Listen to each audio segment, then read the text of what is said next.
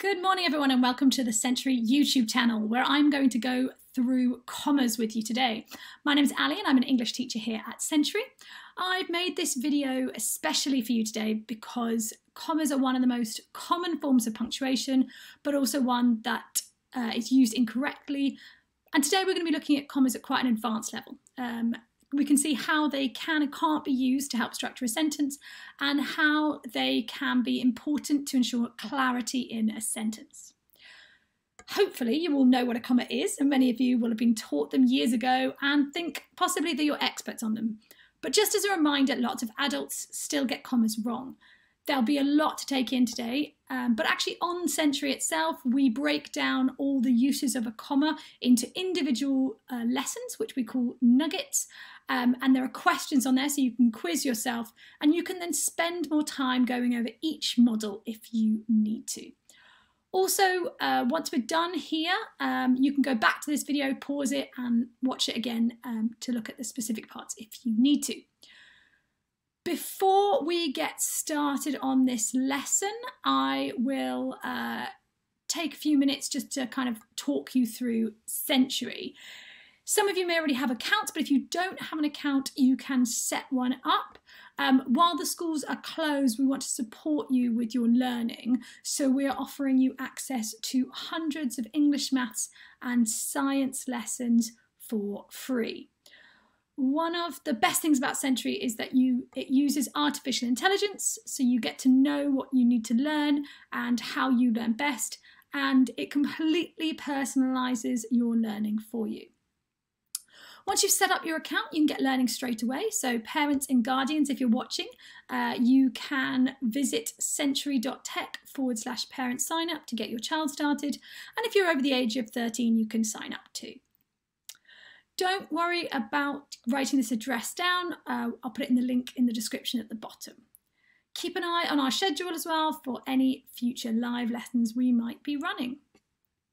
So let me switch over now to the lesson. I hope you enjoy it. I mentioned before that we are going to be looking at quite advanced punctuation today. And I know that comma doesn't sound like it's advanced punctuation, but actually, many adults use commas incorrectly in their writing. And for lots of you, your lot use of punctuation will be assessed in your GCSEs. So it's really important that you understand the rules about commas and you practice using them correctly in all of your writing. So, when do we use commas? So, we use commas to separate items in a list. And here's an example of that. The creature was round, covered in green fur, and had a toothy grin. Here we have a comma separating round and covered in green fur, the first two items in this list. Now, most of you will have learned about commas in a list in primary school and thought, well, I've got this now, I completely understand it. But the, for those of you that have ever heard of the Oxford comma or serial comma, you'll know that even if this simple use of a comma is in fact not simple at all. Um, we're not going to cover that today, but if you are interested in looking at the Oxford comma or serial comma, then do check out our lesson on commas in a list on Century. We also use commas with certain words at the beginning of a sentence. Here we've got the sentences Initially, they thought it was cute. However, it had the potential to destroy worlds. Here, the commas are used after the adverbs initially and however. There are several different types of adverbs and adverbials, and generally, if they're at the beginning of the sentence, they need to have a comma after them.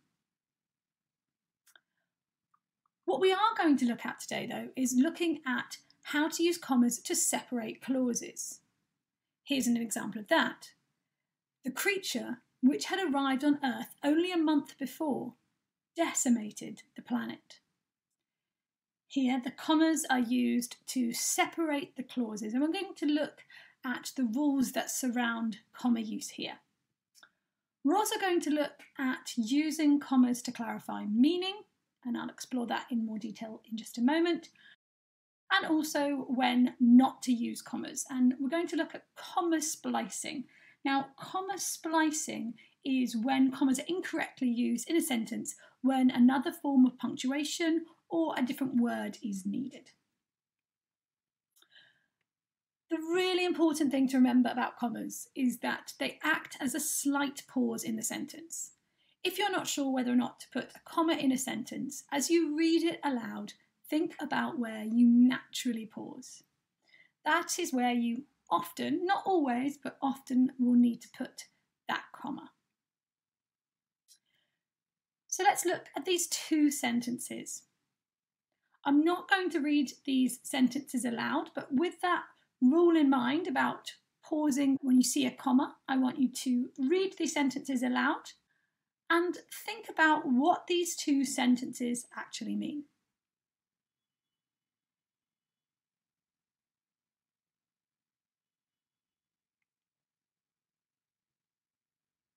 So, I love cooking my friends and pets. You'll notice how I read it there because there is no comma at all in the sentence. So, what it currently means is that I love cooking my friends and my pets. If we place a comma after the word cooking, it clearly becomes a list, which means I love cooking, I love my friends, and I love my pets. Again, this sentence let's eat grandma. Without the comma, what this is suggesting is that we want to eat grandma. By introducing the comma into the sentence here, it's clear that we are inviting grandma to eat. We're actually saving grandma's life with that comma. We can also turn this sentence around so it can be Grandma, let's eat. You'll notice in both cases there is a pause where that comma is.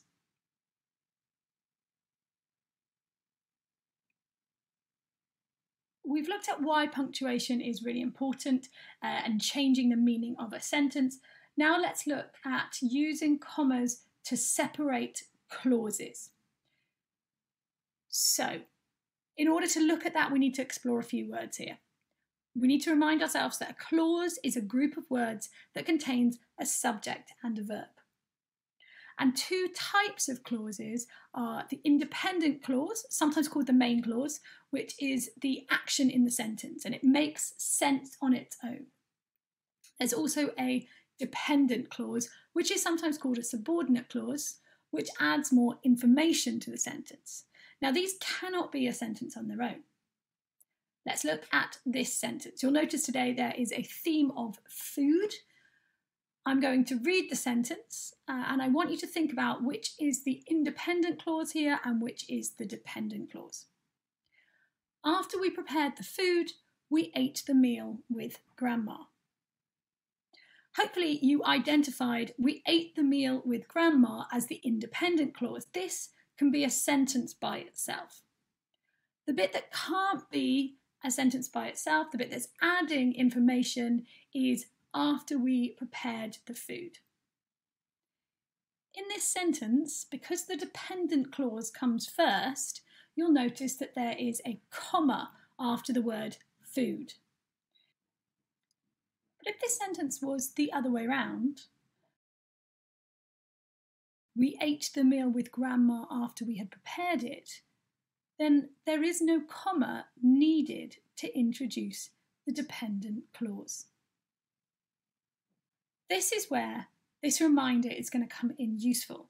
Commas act as a pause, and in this case, there is less of a pause before you introduce the dependent clause, so no comma is needed. Let's look at another example of this. We can create any meal if we work together. Got the independent clause at the beginning of the sentence, followed by the dependent clause. So no comma is needed in this sentence. But if we say, if we work together, we can make any meal, we've got the dependent clause first, followed by the independent clause. So here we do need to have a comma after the dependent clause. And finally, we can also embed the dependent clause within the independent clause.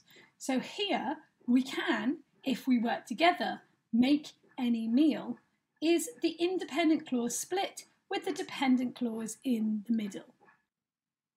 This again needs commas around the dependent clause to separate it from the independent clause. All well and good so far, but now let's introduce another type of dependent clause called a relative clause. Now, relative clauses start with a relative pronoun, which are that, when, which, where, and who. Now, relative clauses fall into two brackets ones that add essential meaning to the sentence, and here they don't need to be separated by commas from the rest of the sentence, and those that don't add essential information to the sentence, and they always need to be separated by commas. We're going to illustrate this point with some examples because it can get quite confusing.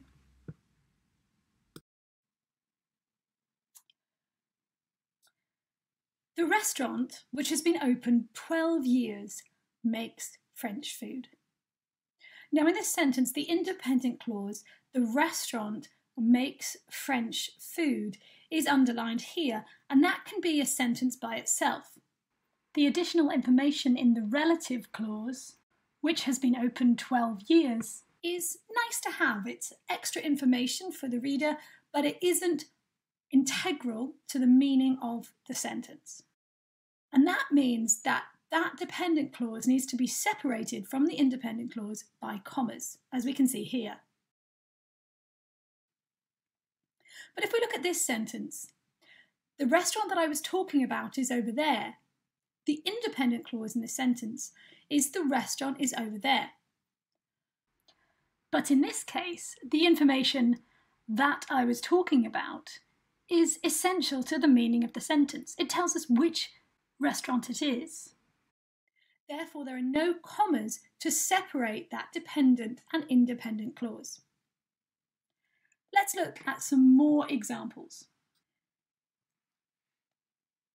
This time I'm going to leave these four sentences up here and I want you to think about whether or not these sentences need a comma based on everything that we've learned. What I am going to remind you before I leave you time to do this is that the comma represents a pause, so try reading the sentences out loud first.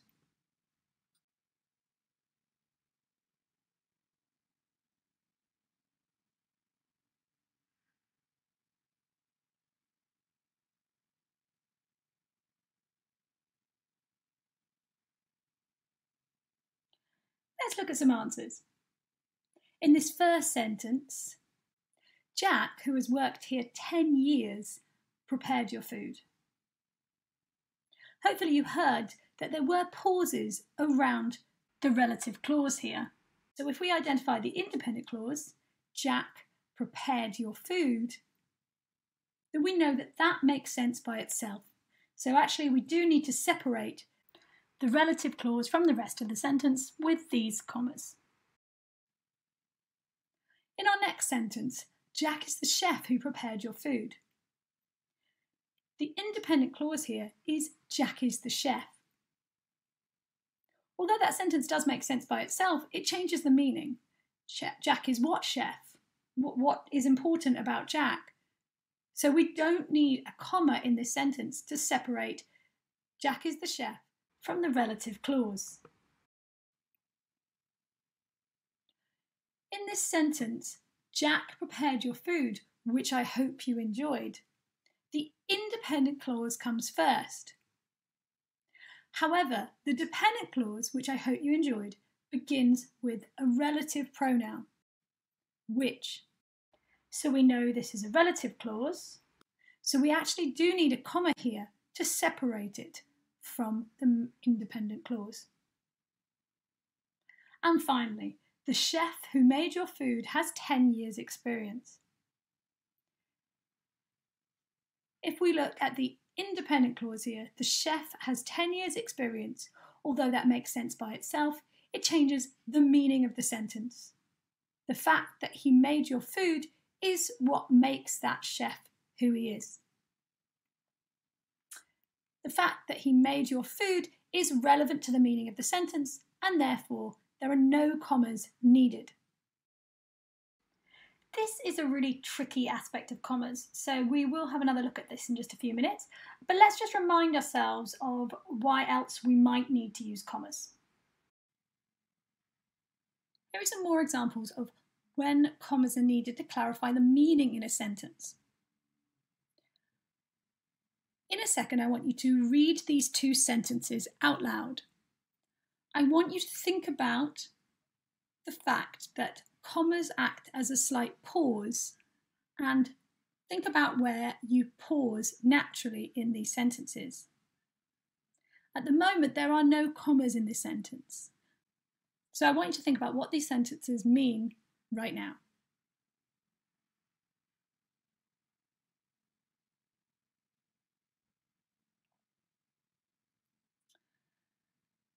Let's look at this first sentence. I'm going to read it as it stands at the moment. Mark walks behind the beaver holding a camera. As it stands at the moment, it suggests that the beaver is the one holding the camera. If we put a comma in here, what we're actually doing is also moving the camera into Mark's hand. Mark's walked behind the beaver, holding a camera. This comma makes the meaning of this sentence clear. This sentence reads, The police chased the clown in a fast car. This may be intentional, but what it currently means is that the police are chasing the clown who is driving a fast car. A comma after the word clown changes the meaning of the sentence to mean that the police are in the fast car. The sentence now reads The police chased the clown in a fast car.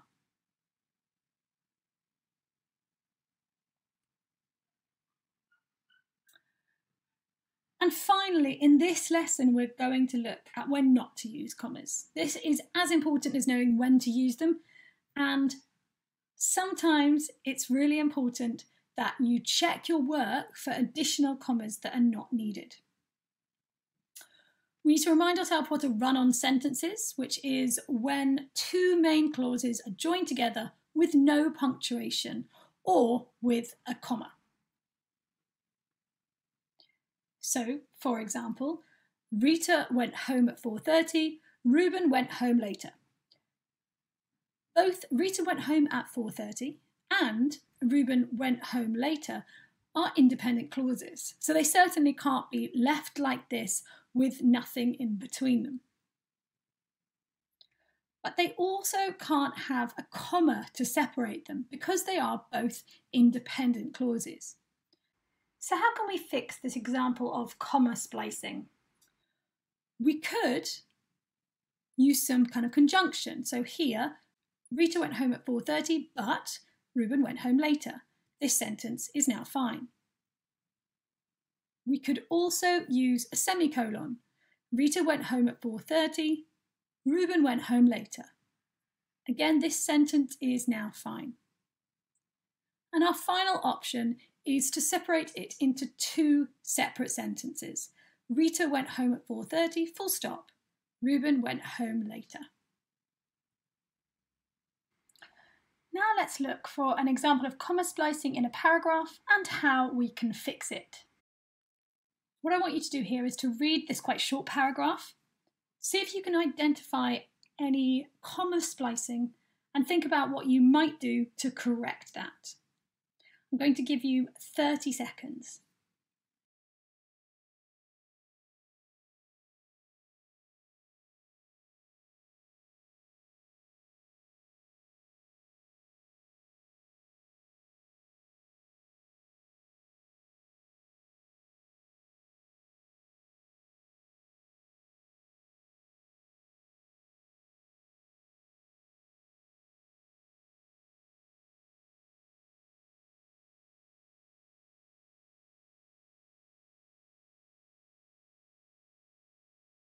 Hopefully you've read this now, and let's read it together and see if we can spot the comma splicing. Mount Kilimanjaro is the tallest mountain in Africa. It is 5,895 metres tall. I'm actually going to stop there because I've already noticed the comma splicing here. And this comma splicing is here. Both parts of this sentence, Mount Kilimanjaro is the tallest mountain in Africa, and it is 5,895 metres tall, are independent clauses. They cannot be joined together with this comma. Let's see how to fix it. So we could put a semicolon in its place. Mount Kilimanjaro is the tallest mountain in Africa. It is 5,895 metres tall. What that semicolon does is show that these two independent clauses are closely related.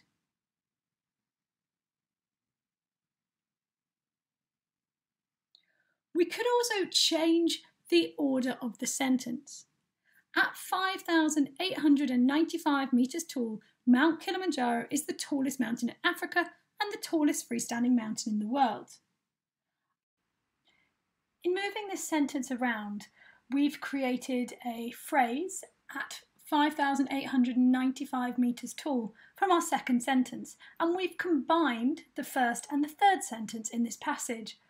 This makes a much more interesting read and makes the writing clearer and grammatically correct. So let's look at some examples of using commas to separate clauses in on century.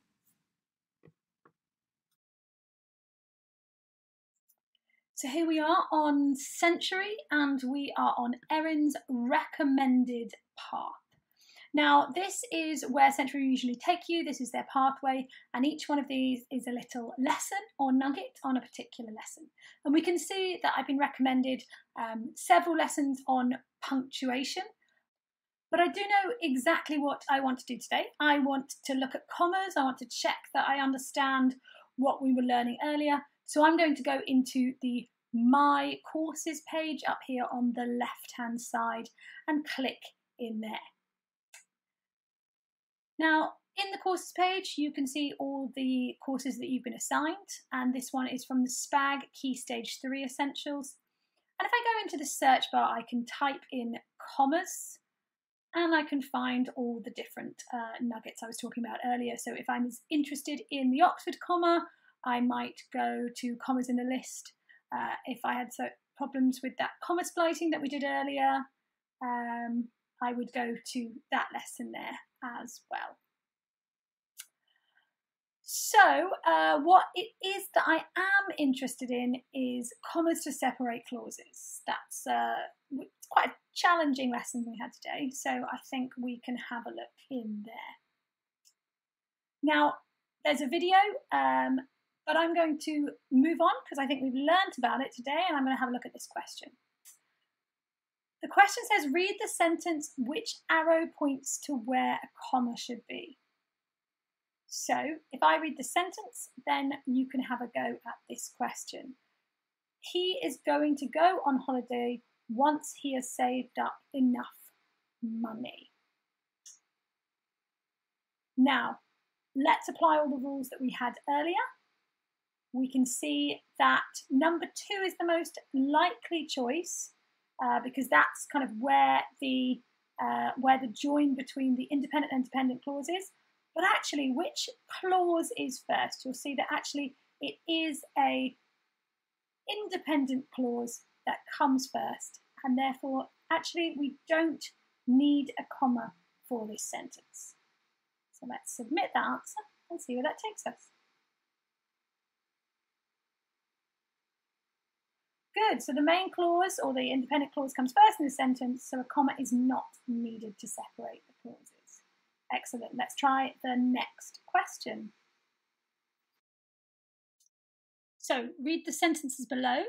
Which of these uses a comma correctly? Now I'm going to let you read those uh, and have a think. Think about what we were talking about before, about the pause and also whether or not the sentence starts with a dependent or an independent clause.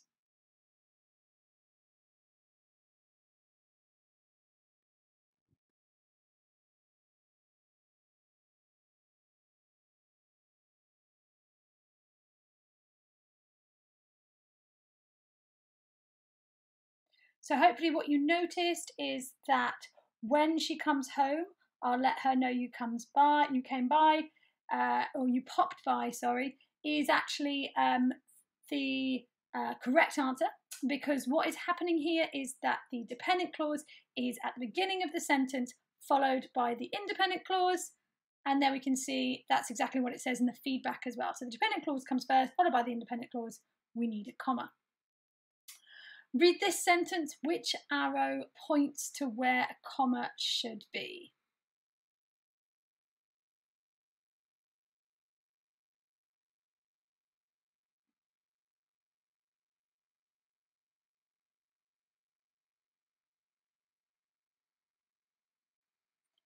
Hopefully, when you read that, you noticed that ever since the two met each other is a dependent clause, they had been inseparable is independent, and so there we can see the subordinate clause comes first in the sentence. Read these sentences. Which of these is correct?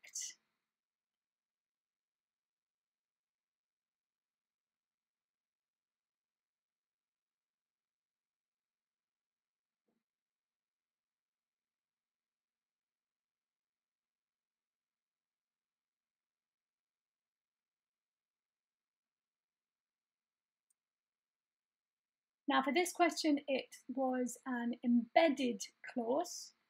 And if we just have a think about what we remember about embedded clauses, they need to be surrounded on both sides by commas and it needs to go after the uh, beginning of the relative clause and at the end of the relative clause.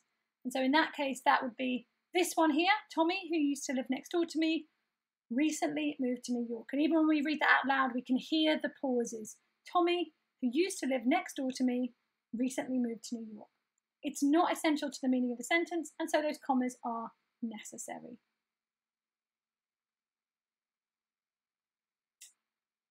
So, which arrow points to where a comma should be in this sentence?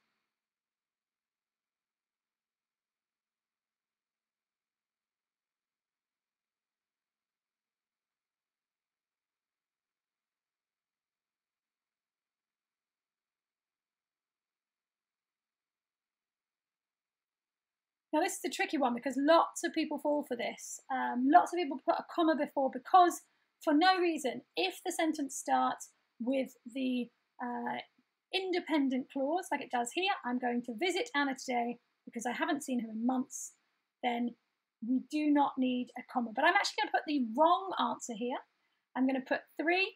And the reason I'm going to do that is because I want to show you um, what the reveals look like. So if you got the wrong answer accidentally, you can always uh, read the feedback and have a look. If the main, here it says if the main clause comes first in the sentence, a comma is not normally needed. So it tells us what we did wrong and we can hit correct answer and we can see that this sentence does not need a comma um, is the correct answer. So we can see where we went wrong. So I'm going to leave you to yourself again.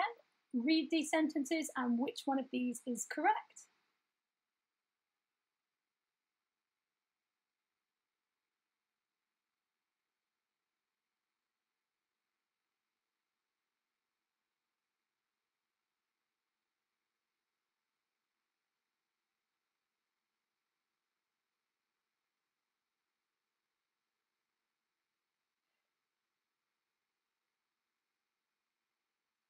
Once again here we've got the dependent clause first, followed by an independent clause, which is if she saves up enough money. And if you remember in that case, uh, we remember we should remember that we do not need a comma. And so number two is the correct answer there. Well done. And I'm going to stop there for now. Uh, thank you very much for listening to this lesson. I hope you enjoyed it. And just a quick reminder on the screen now is um, the website that you can go to to sign up for Century. But uh, if that's also underneath as well, so don't worry if you haven't saved that. Anyway, thank you and have a